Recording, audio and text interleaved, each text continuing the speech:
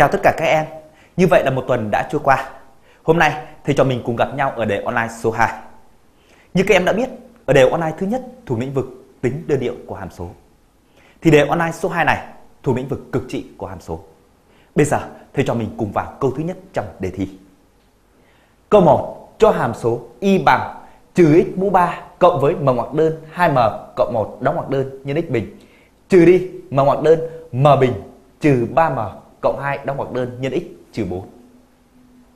Ít nhất tìm cực đại cực tiểu của hàm số với m bằng 1. Ý số 2, xác định m để hàm số có cực đại cực tiểu nằm về hai phía của trục tung. Để làm được ý thứ nhất, các em cần phải nhớ đến các bước tìm cực đại cực tiểu của một hàm số. Các em có hai cách, bây giờ thầy trình bày cho các em cách thứ nhất sử dụng bảng biến thiên. Bước thứ nhất, tìm tập xác định.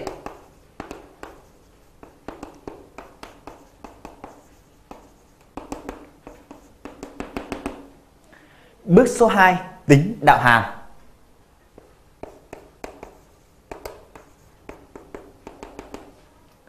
Bước số 3, tìm tất cả các giá trị của x.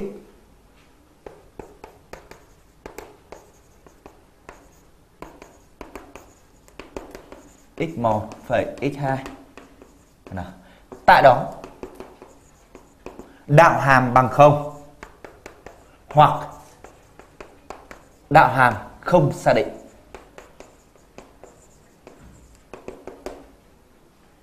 Bước tiếp theo, lập bảng biến thiên.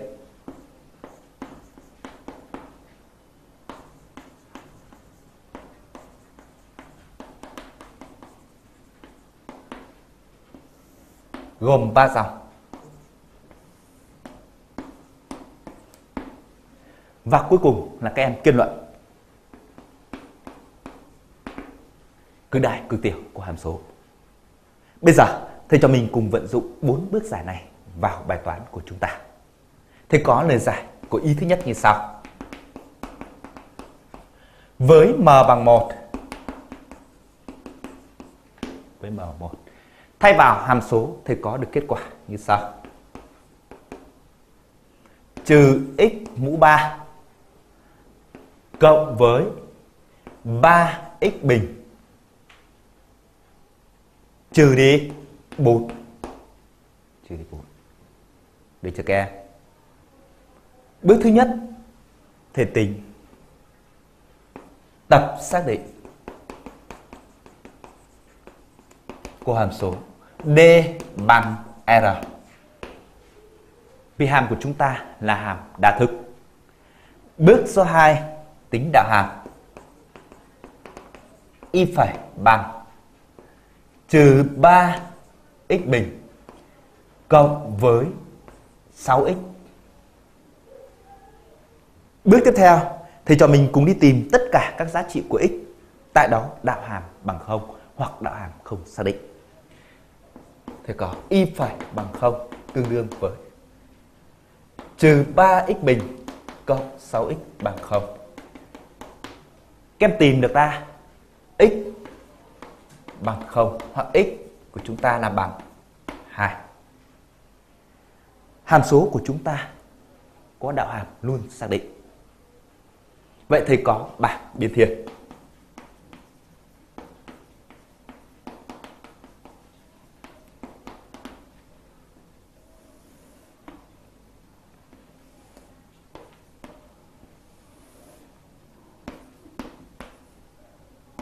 Trừ vô cùng đến dương vô cùng. Không. Hai. Các em đi xét dấu của y phẩy. Biểu thức y phẩy ở đây là bằng trừ 3x bình cộng 6x. Hệ số A bằng trừ 3 nhỏ hơn 0. Trong trái, ngoài cùng các em có được kết quả. À. Âm dòng của y phẩy, mũi tên đi xuống. Dương, mũi tên đi lên. Này là dương vô cùng. Âm vô cùng. Với x bằng không, thay vào biểu thức y thì có kết quả là bằng trừ 4 đúng chưa các em? Còn với x bằng 2 thay vào thì có được kết quả ở đây chính là bằng không. Đến đây, thầy kết luận. Hàm số đạt cực đại tại x bằng 2 giá trị cực đại, y cực đại ở đây là bằng 0 hàm số đạt cực tiểu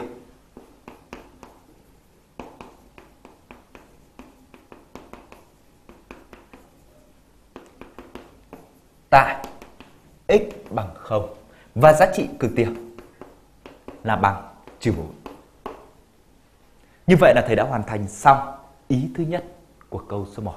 Bây giờ thầy cho mình cùng vào ý số 2. Ý số 2, xác định m để hàm số của cực đại cực tiểu nằm về hai phía của trục tung. Để làm được ý số 2 này, trước tiên thì tìm m để hàm số của cực đại cực tiểu. Nghĩa là tìm m để phương trình y phẩy bằng 0 có hai nghiệm phân biệt x1, x2.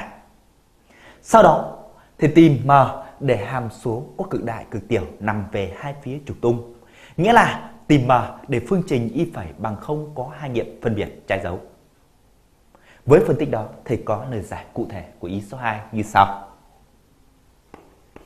Thứ nhất, thầy tính đã hàm phải bằng trừ 3x bình cộng với 2 nhân m hoặc đơn 2m cộng 1 đóng hoặc đơn nhân x, trừ đi m hoặc đơn m bình trừ 3m cộng 2. Từ đây, thầy suy ra phương trình y phẩy bằng 0 tương đương với trừ 3x bình cộng với 2 nhân m ngoặc đơn 2m cộng 1 đóng ngoặc đơn nhân x, trừ m ngoặc đơn m bình trừ 3m cộng 2 bằng 0. Thầy lý luận như sau. Để hàm số có cực đại, cực tiểu nằm về hai phía của trục tung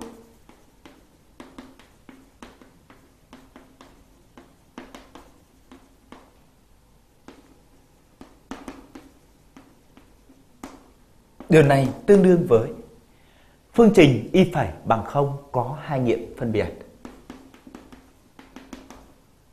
Có hai nghiệm phân biệt. Trái dấu x1 nhỏ hơn 0, nhỏ hơn x2.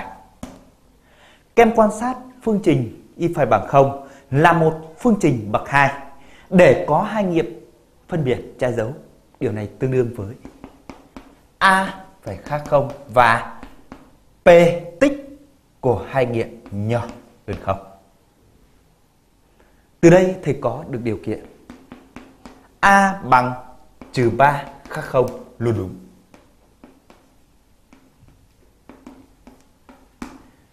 Tích hai nghiệm theo VS thì bằng C trên A. Kết quả ở đây chính là M bình trừ 3M cộng 2 trên 3 nhỏ hơn không.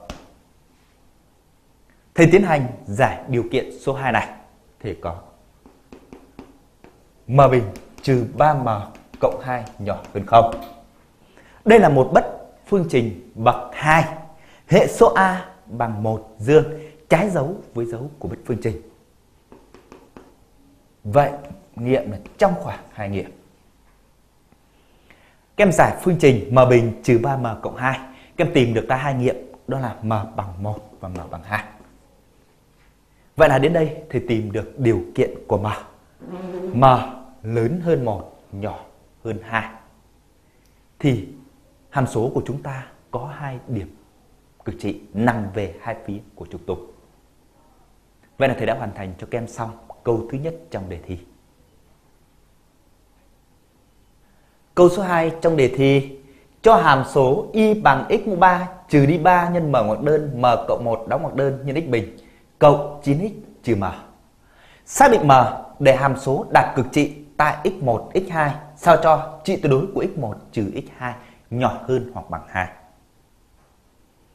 Để làm được câu này, trước tiên thì cho mình xác định m để hàm số đạt cực trị tại x1, x2. Nghĩa là tìm m để phương trình y phẩy bằng 0 có hai nghiệm phân biệt x1, x2.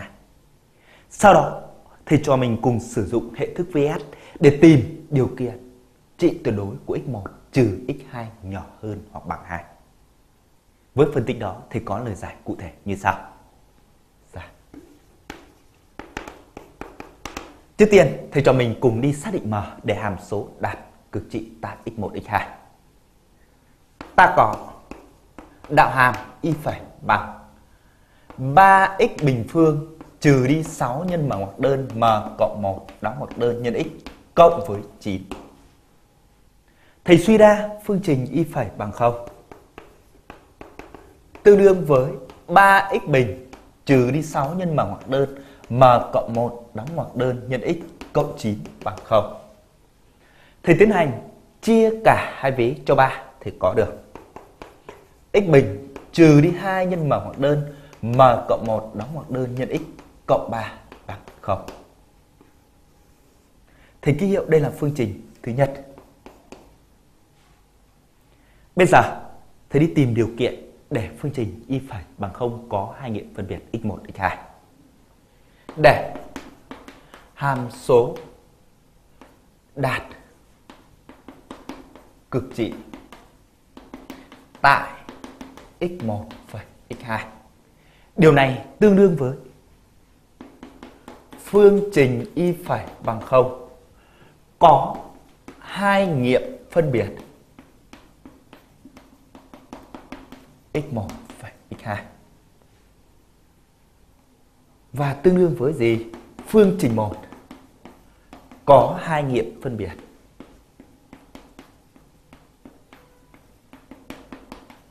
phẩy x2. Các em quan sát phương trình 1 là một phương trình bậc 2 để có hai nghiệm phân biệt x1, x2.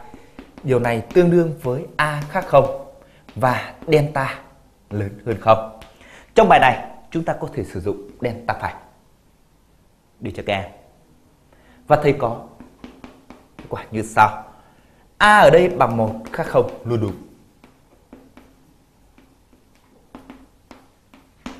Delta phẩy bằng B phẩy bình trừ đi AC.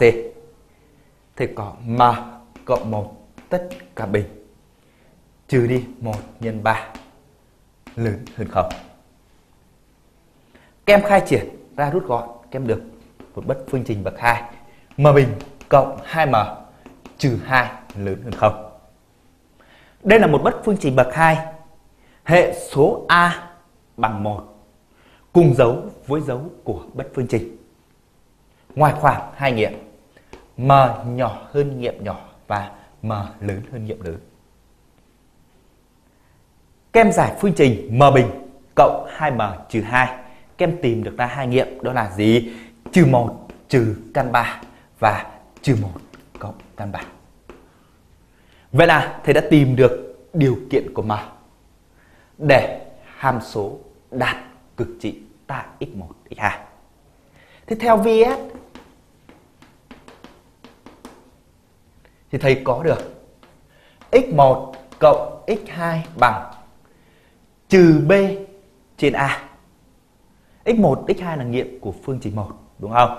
Trừ b trên a kết quả bằng 2 nhân với m cộng 1. x1 nhân x2 bằng c trên a. Kết quả ở đây chính là bằng 3. Đúng chưa? Thế còn theo giả thiết, theo giả thiết thì thầy có trị tuyệt đối của x1 trừ x2 nhỏ hơn hoặc bằng 2. Để sử dụng được hệ thức VS, thầy tiến hành bình phương. Thầy có x1 trừ x2 tất cả bình nhỏ bằng 4. Khai triển hàm đẳng thức thầy có được kết quả x1 bình trừ 2 lần x1 x2 cộng x2 bình nhỏ hơn hoặc bằng 4 thì thêm bớt hai lần x1 x2 vào thì có x1 bình cộng với hai lần x1 x2 cộng x2 bình trừ đi 4 lần x1, x2 nhỏ hơn hoặc bằng 4. Ba số hạng đầu tiên chính là hàng đẳng thức. x1 cộng x2 tất cả bình trừ đi 4 lần x1 x2 nhỏ hơn hoặc bằng 4. Bây giờ thì kem chỉ cần thay VS vào thôi. Kem có được kết quả ở đây tương đương với 4 nhân với khoảng 1 m cộng 1 tất cả bình trừ đi 4 nhân với gì? À 3 nhỏ hơn hoặc bằng 4. Kem tiến hành khai triển hàng đường thức rồi rút gọn. Kem sẽ có được một bất phương trình ở đây. Đó là gì? M bình cộng 2m trừ 3 nhỏ hơn hoặc bằng không. Đây là một bất phương trình bậc 2. Hệ số A bằng 1 trái dấu với dấu của bất phương trình trong khoảng hai nghiệm. M lớn hơn hoặc bằng, nhỏ hơn bằng. Các em sử dụng máy tính, tìm nghiệm của phương trình bậc 2 M bình cộng 2M trừ 3. Các em tìm được ra nghiệm ở đây chính là bằng trừ 3 và nghiệm bằng 1. Đúng chưa? Các em kết hợp với điều kiện để hàm số đạt cực trị tại x1, x2 thì các em có được vậy m của các em. Lớn hơn hoặc bằng trừ 3 nhỏ hơn trừ 1 trừ căn 3 hoặc m. Lớn hơn lớn hơn trừ 1 cộng căn 3 và nhỏ hơn hoặc bằng 1. Như vậy là thầy đã tìm được điều kiện của M để hàm số đạt cực trị tại x1, x2 thỏa mãn trị tuyệt đối của x1 trừ x2 nhỏ hơn hoặc bằng 2. Bây giờ thầy cho mình cùng chuyển sang câu tiếp theo trong đề thi. Câu số 3 của đề thi cho hàm số y bằng x mũ 4 trừ đi 2m x bình cộng với 2m cộng m mũ 4. Với giá trị nào của m thì hàm số có 3 điểm cực trị, đồng thời 3 điểm cực trị lập thành tam giác có diện tích bằng 4. Câu số 3 này thuộc bài toán. Tìm điều kiện để hàm số bậc 4 có 3 điểm cực trị thỏa mãn điều kiện cho trước. Để làm được bài toán này, thầy cho mình cần tiến hành các bước sau. Bước thứ nhất, tìm điều kiện để hàm số bậc 4 có 3 điểm cực trị. Nghĩa là tìm điều kiện để phương trình y phẩy bằng 0 có 3 nghiệm phân biệt. Bước số 2, tìm tọa độ của 3 điểm cực trị. Bước số 3, dựa vào điều kiện 3 điểm cực trị lập thành tam giác có diện tích bằng 4 để suy luận ra một phương trình ẩn M, giải phương trình tìm M. Bây giờ thầy có lời giải cụ thể của bài này như sau.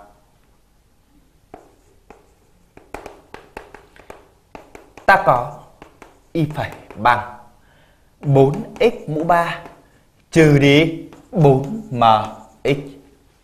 Từ đây thầy suy được ra phương trình y phẩy bằng 0. Tương đương với 4x mũ 3 trừ đi 4mx bằng 0. Thì đặt nhân tử chung là 4x thì có 4x trong ngoặc còn x bình trừ m bằng 0. Và thầy có được kết quả như sau, tương đương với hoặc x bằng 0 hoặc x bình bằng m thì ký hiệu đây là phương trình thứ nhất. Bây giờ thầy cho mình cùng đi tìm điều kiện để hàm số có 3 điểm cực trị. Để hàm số có 3 điểm cực trị. Điều này tương đương với phương trình y phẩy bằng 0 có 3 nghiệm phân biệt. Phân biệt. Mà phương trình y phẩy bằng 0 thì tương đương với x bằng 0 hoặc x bình bằng m. Vậy điều này tương đương với phương trình 1 có hai nghiệm phân biệt. Khác không? Và thầy tìm được ra điều kiện của m là lớn hơn. Không. Vậy là thầy đã tìm được điều kiện của m để hàm số có 3 điểm cực trị.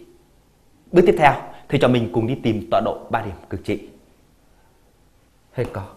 Y phẩy bằng 0 tương đương với hoặc x bằng 0 x bình bằng m tương đương với hoặc x bằng 0 hoặc x bằng cộng trừ căn bậc. Thầy thay lần lượt ba nghiệm này vào hàm số thì thầy sẽ tìm được ra tọa độ của ba điểm cực trị.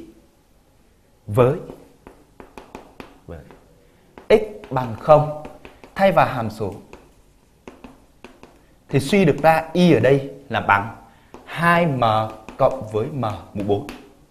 Vậy là thầy có được cực trị A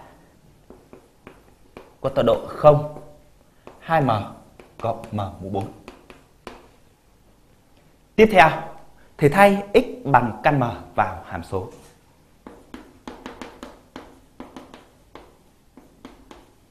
y bằng căn m tất cả mũ 4 trừ đi 2m nhân căn m bình phương cộng với 2m cộng m mũ 4. Kem rút gọn, các em có được kết quả là gì? m bình phương trừ 2 m bình phương cộng 2m cộng m mũ 4 trừ m bình cộng 2m cộng m mũ 4 và thầy có được cực trị B có tọa độ. Căn m, phải. Trừ m bình phương cộng 2m m mũ 4 với x bằng trừ căn m. thay vào hàm số thầy có y được bằng trừ m bình phương cộng 2m cộng m mũ 4 và thầy có được cực trị C có tọa độ trừ căn m phải trừ m bình cộng 2m cộng m mũ 4. Bước tiếp theo thầy cho mình cùng đi tính diện tích tam giác ABC và cho bằng 4.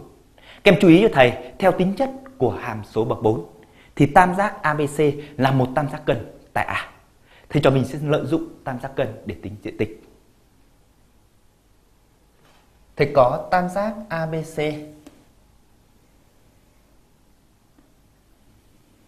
là một tam giác cân tại A. Thầy gọi Y là trung điểm của BC. Khi đó thầy có AI chính là chiều cao. Vì tam giác ABC cân tại A. Đúng chưa? Thì có tọa độ điểm Y lấy tọa độ điểm B cộng tọa độ điểm C trên 2. Kết quả 0 phải trừ đi M bình cộng 2M cộng M mũ 4. Từ đây thì suy được ra vectơ AI lấy tọa độ điểm Y trừ tọa độ điểm A 0 trừ M bình và thầy có được đoạn AI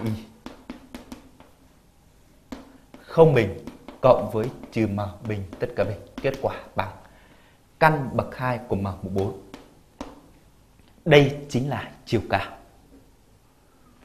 Vector BC lấy tọa độ điểm C trừ tọa độ điểm B thì có được kết quả là bằng trừ 2 căn m, phải không?